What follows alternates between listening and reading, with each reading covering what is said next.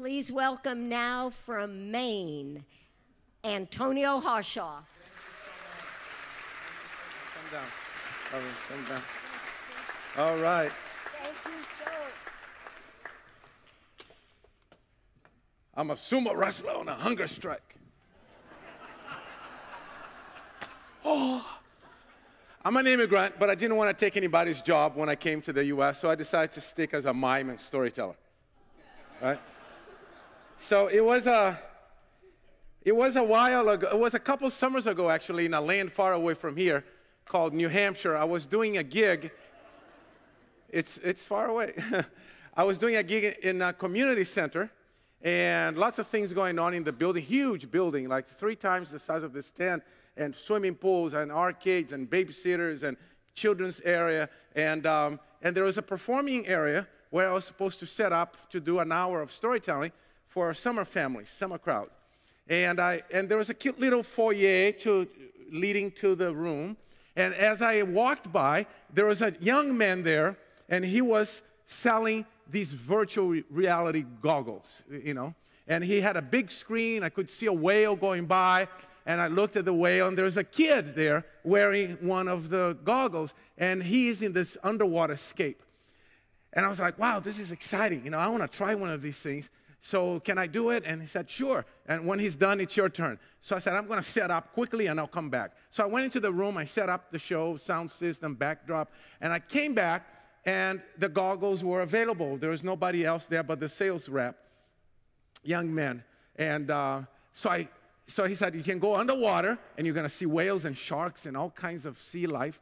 And, uh, and or you can go to the city and, and you're going to be in a city and you're going to take an elevator, go to the top of a building, and you're going to press a button on this wand. He showed me the one, and you're going to get to fly. I was like, fly? He's like, yes, you're just gonna press a button and you're gonna you're gonna fly like Superman. I'm like, wow, this is super exciting. I mean, I learned how to fly small airplanes. Um, I, how many of you have had flying dreams when you were young? Yeah, all those dreams were all so vivid. I'm like, I had a bunch of those dreams. I'm like, I'm gonna get to do it like in virtual reality. This is gonna be super cool. So he handed me over the, the goggles and they looked something like this one. And, um, and, and, and he gave me the wand and and he pressed the button and I put this on and right away, whoa! I was standing on this busy, busy city. I'm in the square and the trees, and I can see the buildings, and I'm looking around. I'm like, wow! and, I, and I was like, okay, walk across the street, and you're going to get to the building where you're going to go up. I'm like, okay, press the forward button. And I press the button, and the scenery start to move. And I'm like, all right, this is nice, you know. So I'm, I'm like, okay, I can do a little bit of mime here.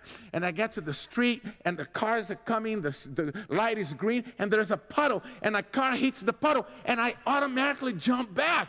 I mean, it was so real. Everything was so real. And I'm like, this is going to be amazing. To fly, it's going to be out of this world. And the light went red, and I pressed the button, and I started crossing the street. And I got to the elevator, I pressed the second button, and the elevator door opened. And I get inside, I turn around, elevator door shuts, and it's a panoramic elevator, right? And I press the button, and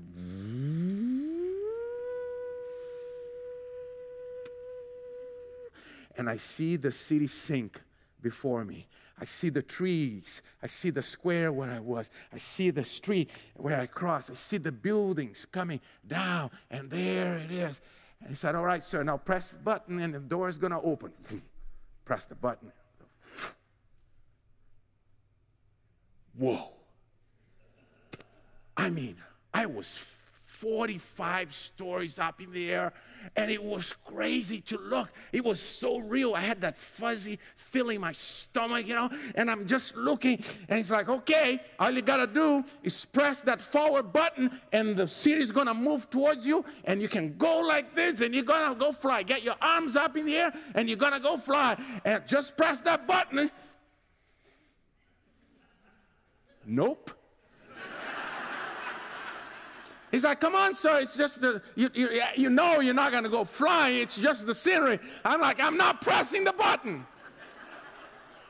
Uh, and I'm like, I'm frozen. I'm in shock. I'm trembling. I'm, I'm getting cold. And he's like, come on, just, just press the button. You can even lift one leg. I'm not lifting a leg up. I'm not getting off this elevator. And I, and, it's, and here I am, the opportunity of a lifetime to go flying in virtual reality. You know, I'm awake. It's going to be like a dream, and I can't do it. And I'm like, okay, this is terrible. He's like, sir, you're standing, you know where you are. I'm like, I know where I am. I'm, I'm, I'm, I'm in a community center. He's like, that's right, you're standing on, on carpeting. I'm like, I know, I can feel it. It's like, it's not a real, I know it's not a real elevator. And it's, it's just, just, just press the button. I'm like, I'm not pressing the button. I'm not pressing the button. It's like, okay. He's like, calm down. We have an option. You can go a little higher and do what? He's like, well, there's a plank. It's about 10 feet long and about two feet wide, and you can walk on the plank and get used to the height. I'm like, okay, all right. Press the button, sir. I'm like, okay. Press the button.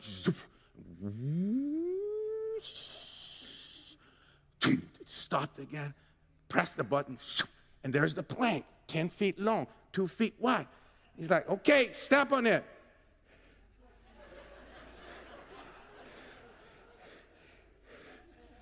Sir, just put one foot forward. That's it's the same carpeting. You're standing on. I'm like, I know, I know, I know. And I put one foot on the plank, and then I couldn't get the other foot to go. Every time I start to pass through the doorway of the elevator, every time I kept passing out, I'm like, no, no, no, no, I can't do it. He's like, sir, the, it looks like a plank, but the whole thing is the floor you're standing on. I'm like, I know that. You just, I can't do this. I'm like, this is so embarrassing because I've always wanted to do this and I just can't do it. And I'm like getting nervous and I, I, I can't do it. And I'm freezing and I'm looking around and, and I have an idea.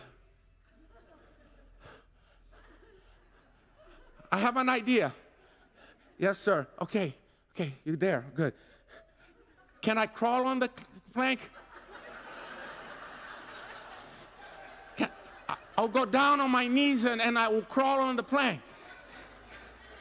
And he goes, Nobody has ever done that, but you sure can try. And I get down on my knees.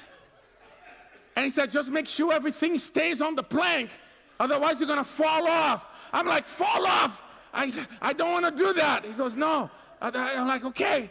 So I stay on my knees and on the plank, my, my hands on the plank. I'm holding the one, so I'm walking on my wrist and knuckles on one hand, and I, and I start to, to walk on this plank ever so slowly. And I'm going, and now I, and it's like it's so hard to look down at the street down below, and I'm going forward, and, the, and, the, and it's okay. It's, it's a little shaky. I'm still nervous, but I'm, I'm doing the walk. And then I, and then I get to I get there to the end and I have I, I need to turn around and I can't turn around because I, uh, the plank is two feet wide.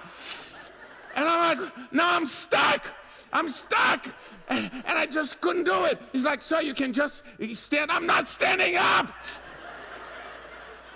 He's like, well, then you're going to have to back up. I'm like, okay, that's a good idea. I'll back up. I'll back up. And I stop backing up and I stop backing up ever so slowly, but I'm so nervous. One of my knees goes off the plank, and everything starts rushing towards me. And I'm like, ah! and boom, everything goes white. I'm like, everything is white. I'm still on my fours. Huh? I'm like, everything is white. He's like, well, sir, you, you're kind of dead.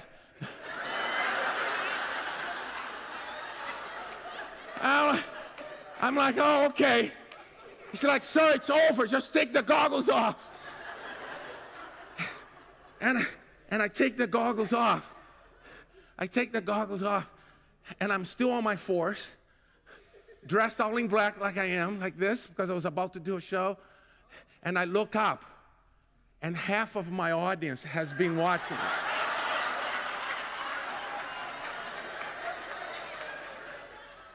these parents with kids. One mom had her daughter's eyes closed. There's these preteens with their cell phones and they're doing live broadcasting. and this boy with his dad, this boy with his dad goes, Dad, Dad, who is he? And the father goes, Son, that's the storyteller. All right, thank you very much. Thank you. thank you. Hey, Josie!